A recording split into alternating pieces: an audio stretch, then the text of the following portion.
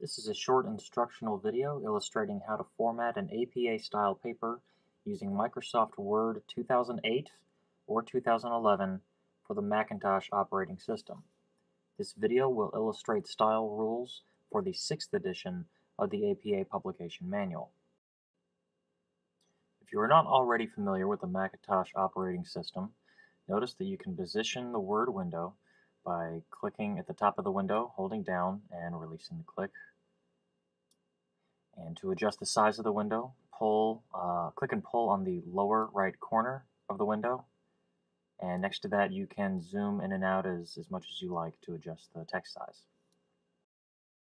Similar to Word 2007 and 2010 on a Windows operating system, there's a ribbon at the top of the window that organizes menu options by category.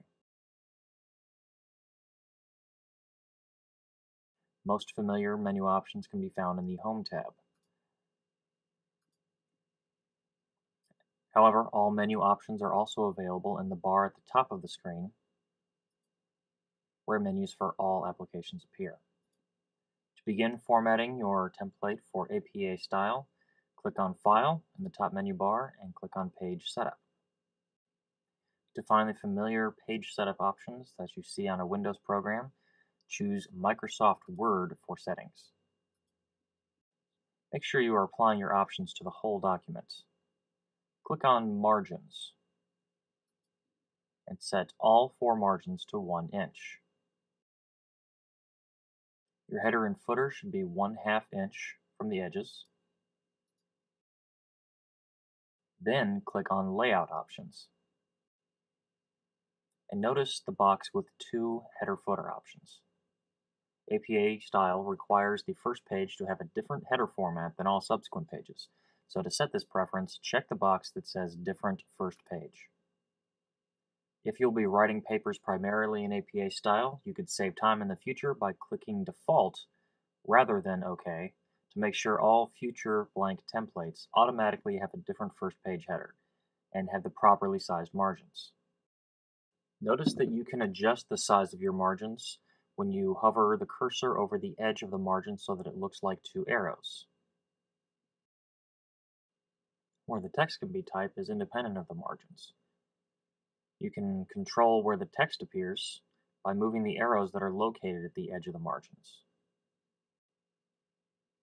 To control your text settings with more precision, go to the top menu bar again, click on Format, and then click on Font. APA style requires you to use Times New Roman 12-point font throughout the manuscript, including the header.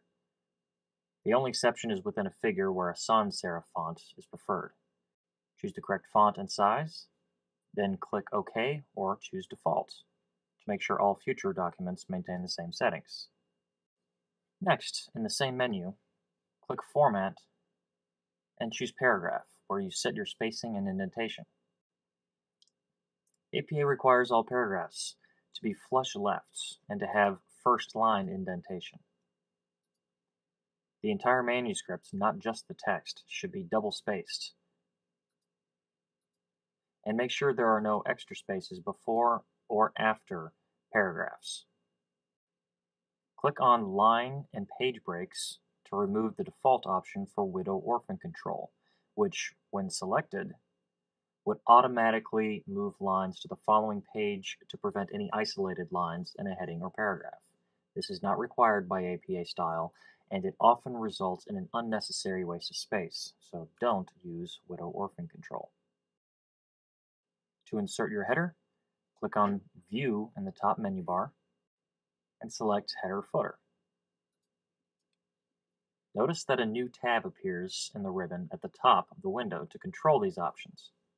You can move between the header and the text by double-clicking outside or inside the header. In the Header Footer tab, you can click on Page Number to insert automatic page numbers.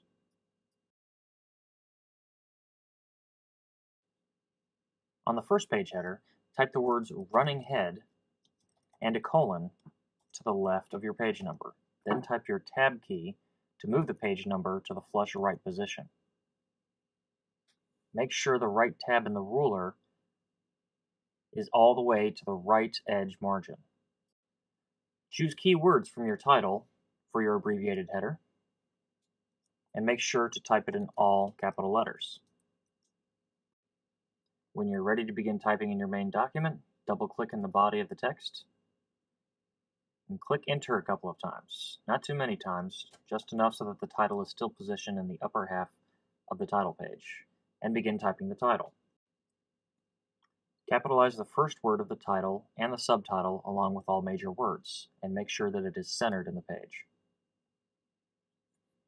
APA style includes all major words to be nouns, pronouns, verbs, adjectives, and adverbs, along with any conjunctions and prepositions that are four or more letters. Below your title, type your name, and below that, your university or other institution. Press enter again and go to the top menu to select Insert, Break, Page Break.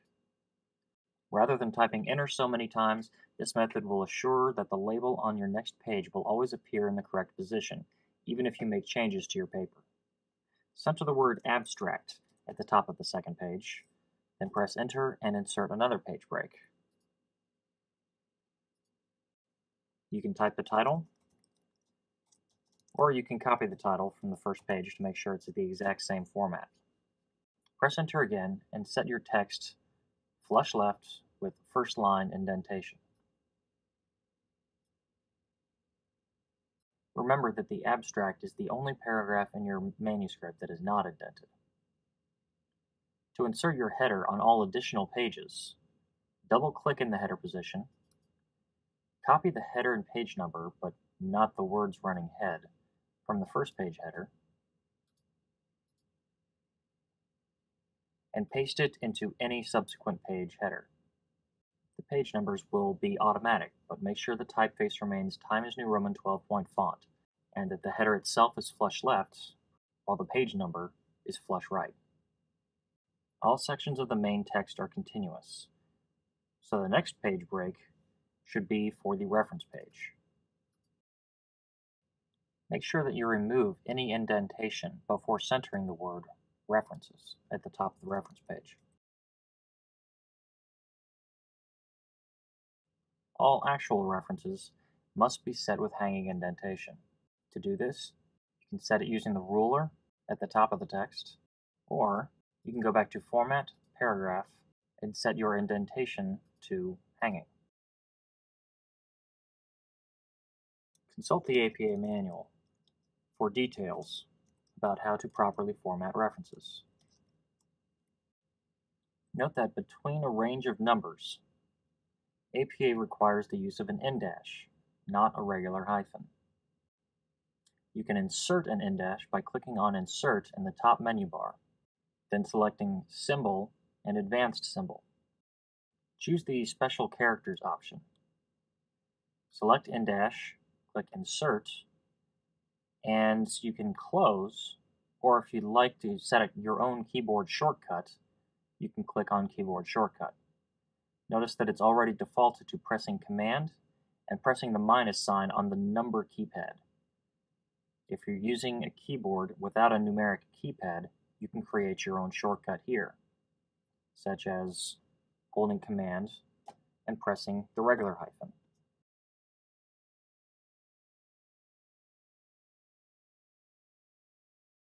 Notice the difference in size between a regular hyphen and an en dash and the larger em dash. Each of these serves a specific purpose in APA style, so make sure you use the right one. The manual way to generate an en dash is to type the page number, space, regular hyphen, space, and the last page number. When you type a period or space again, your hyphen will become an en dash but you must remember to remove the spaces afterwards. Instructional videos can be found on the Apple or Microsoft websites, or you can simply Google your question using keywords. But the best way to become familiar with your program is to play with it. The more you point and click to test out every possibility, the more you will learn what is and what is not helpful. For other APA formatting inquiries, you can consult the APA-style PowerPoint on the Kennesaw State Psychology Lab webpage, or consult the APA Publication Manual. Thank you for watching.